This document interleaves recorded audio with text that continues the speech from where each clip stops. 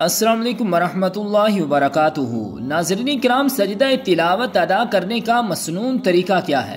कुरान पाक में चौदह सजदे मौजूद हैं, जिनका अदा करना वाजिब है। अगर किसी के ऊपर सजदा तिलावत वाजिब हो जाए तो उसको अदा करने का सही और मसनून तरीका क्या है? तो नाजरीन कराम, इस हवाले से जान लीजिए कि सजदा तिलावत सिर्फ़ तिलावत करने वाले पर वाजिब नहीं होता।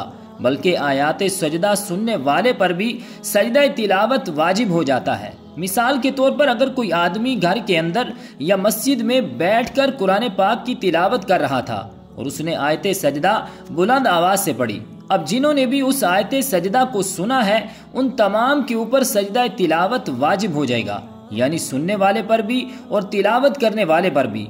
दोनों पर सजदा तिलावत वाजिब हो जाएगा। अगर नहीं करेंगे तो गुनागार होंगे। और सजदा तिलावत के लिए क्या शरात हैं? तो सजदा तिलावत के लिए वो तमाम शरात ज़रूरी हैं जो नमाज़ के लिए शरात लाजिम होती हैं। यानी वज़ू का होना, तहारत का होना, जगह का पाक साफ़ होना, और किबला रुख होना, और नीयत का होना, और वक़्त का होना। यानी मकरू वक़्त में सजदा तिलावत करना जायज़ नहीं है। तो ये तमाम शरात होना ज़रूरी है सजदा तिलावत के लिए। और सजदा तिलावत अदा करने का एक मसनून तरीका तो ये है कि आप कुरान पाक की तिलावत कर रहे थे। तो जैसे ही आपने आयत सजदा पढ़ी तो आयत सजदा पढ़ने के बाद आपने कुरान पाक को बंद कर दिया और वहीं पर सजदा तिलावत अदा कर लिया। अब इसका तरीका क्या है कि अगर एक सजदा आपके ऊपर वाजिब है तो इसका तरीका यह है कि आप सीधे खड़े हो जाएँ।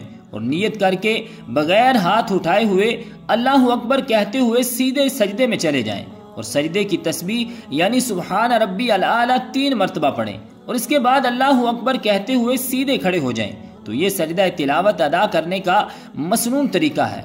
और अगर बैठ कर करेंगे तो इसका तरीका क्या है? मिसाल के तौर पर, आप कुरान पाक की तिलावत कर रहे थे और आपने आयत सजदा पढ़ी तो आपने कुरान पाक को बंद किया और वहीं पर बैठकर आपने सजदा तिलावत अदा कर लिया। तो ये भी जायज़ है। लेकिन पहला तरीका, यानी सजदा तिलावत से पहले भी क्याम करना और बाद में भी क्याम करना, ये मुस्तहब और अफजल है। तो एक तरीका तो ये है कि आप फ़ौरन सजदा तिलावत अदा कर लें। और दूसरा तरीका ये है कि आपने मुकम्मल कुरान पाक की तिलावत की। यानी कुरान पाक आपका मुकम्मल हो चुका है और अब चौदह सजदे आपके ऊपर वाजिब हो चुके हैं। तो इनको अदा करने का तरीका यह है कि आप सीधे खड़े हो जाएँ और नियत करके अल्लाह अकबर कहते हुए सजदे में चले जाएँ और तीन मरतबा सजदे की तस्बीह यानी सुबहान रब्बी अला पढ़ें और इसके बाद अल्लाह अकबर कहते हुए बैठ जाएँ। इसके बाद फिर अल्लाह अकबर कहते हुए सजदे में चले जाएँ और सजदे की तस्वीर यानी सुबहान रबी अला तीन मरतबा पढ़ें। तो इस तरह तेरह सजदे आपने अदा करने हैं और चौदवा सजदा अदा करने के बाद बैठेंगे नहीं, बल्कि अल्लाह अकबर कहते हुए सीधे खड़े हो जाएँगे।